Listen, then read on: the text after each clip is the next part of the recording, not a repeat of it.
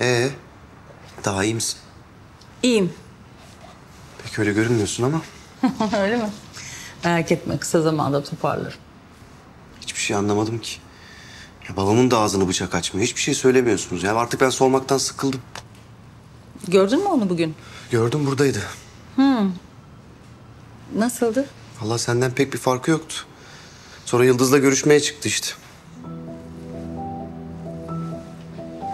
Anlamadım. Yıldız'la mı buluşacaktı? Evet. Ya ben yanındayken Yıldız aradı. Görüşmek istediğini söyledi. O da gitti. Öyle mi? Ne oldu ya? Bak sen.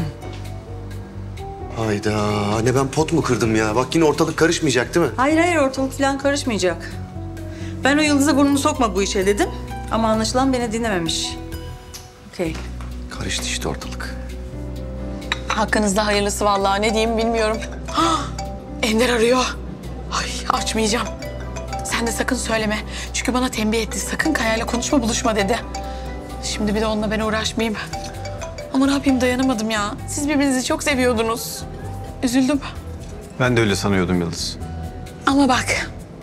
Eğer ki dertleşmek istersen ben her zaman buradayım canım. Biliyorum Yıldız'cığım sağ ol. Teşekkür ederim. Bu arada yarın duruşma var. Senin elma pürelerinin haklarını satın alan şirketle. Benim gelmeme gerek yoktu değil mi? Gerek yok vekaletim var. Ay ceza kesecekler bana değil mi? Evet daha önce de söyledim ama tutarı yarın belli olacak. İnşallah çok fazla abartı bir meblağ ceza yemem. İnşallah Yıldız ama bir şeyler çıkacak yani biliyorsun hazırlıklı ol. Allah'tan kendi param var. Halit'ten para falan istemeyeceğim, kendim ödeyeceğim. Yani bizim yüzümüzden sizin bu evlilik işi sekteye uğrayacak diye vallahi ödüm kopuyor. Ya anne sen niye bunu düşünüyorsun ki şimdi?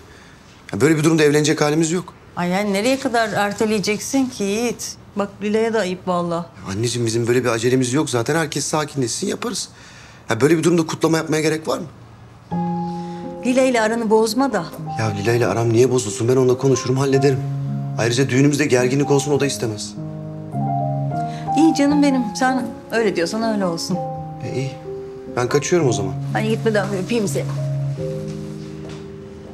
Canım benim. Hadi görüşürüz haberleşiriz. Babaycığım.